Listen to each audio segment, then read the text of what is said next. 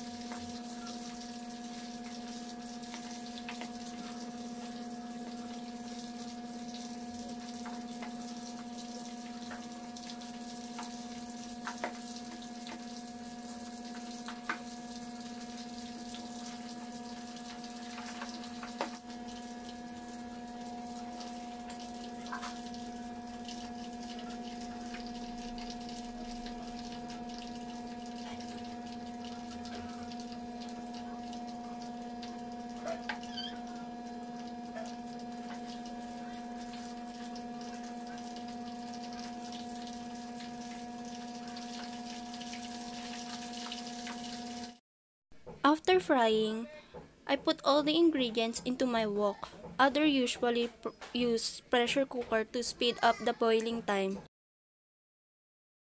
Since I use wok, I let it boil for about 1 to 2 hours, then it's done.